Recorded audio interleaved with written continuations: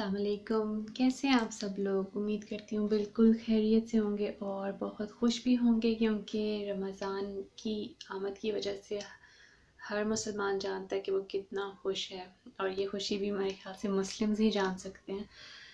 तो खैर, आज की मेरी वीडियो है अबाउट डेकोरेशन जो मैं अपने बच्चों के साथ हमेशा ही करती हूँ, लेकिन इस बार मुझे था कि मैं शेयर करूँगी क्योंकि हर कोई बोर है घर में और कोई ना कोई बच्चों के साथ एक्टिविटी ढूंढ रहा है कि वो क्या करे। तो वाई नॉट आप लोग भी दिस ईयर अपने घर को सजाएँ ऐसे बच्चों के साथ जहाँ पे आप रोज़ा अफ्तार करें और जहाँ पे बच्चे बैठते हैं, ज़्यादा यू नो कुरान पढ़ते हैं या कुछ ऐसा करते हैं, वहाँ पे आप एक वॉल को सजाएँ, खूबसूरत सा बनाएँ।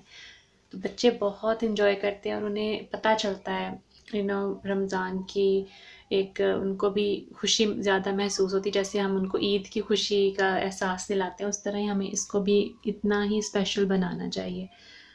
और ये आप देख रहे हैं, ये सब इन बच्चों ने मेहनत की पेंट्स यूज़ किए स्टिकर्स और इस तरह फिर हमने एक वॉल को बनाया। यहाँ पर मेरे बच्चे बैठ के आजकल ऑनलाइन क्लासेस ले रहे हैं तो कुरान की तो इसलिए मैंने इसको डेकोरेट करना पसंद किया वॉल को, और यहाँ पे इफ़ार भी हम करेंगे इन और ये जैसा कि आप देख रहे हैं, ये मेरी बहुत ही प्यारी फ्रेंड एक ही एक्चुअली फ्रेंड कह लें, और जस्ट लाइक माई सिस्टर तो ये उन्होंने मुझे ईद पे भेजा, और इतनी खूबसूरत एक्टिविटी बुक्स भेजी हैं कि super super super cute I love it इसमें हर दिन के बारे में एक्टिविटी है, हर फ़र्स्ट रोज़े की सेकंड थर्ड ऐसे हर दिन की एक्टिविटीज़ है, इसमें बच्चा करता है। और बच्चे बहुत पसंद करते हैं, इतनी प्यारी इसमें गेम्स हैं और सब कुछ आप इसमें, अब थोड़ा थोड़ा मैं सारी बुक तो नहीं दिखा सकती थी, लेकिन मैंने कुछ कोशिश की शेयर करने की तो बहुत प्यारी इसमें एक्टिविटीज़ हैं।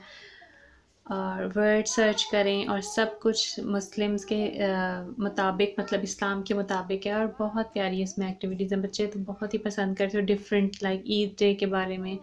और ये देखें, ये इसने डेट्स मुझे भेजी और इसमें बहुत ही प्यारे कार्ड्स थे बच्चे तो बहुत ही खुश और इनको इंतज़ार होता है क्योंकि लास्ट ईयर भी मेरी फ्रेंड ने इसी ने ही मुझे ये बुक्स भेजी थी, वो डिफरेंट थी।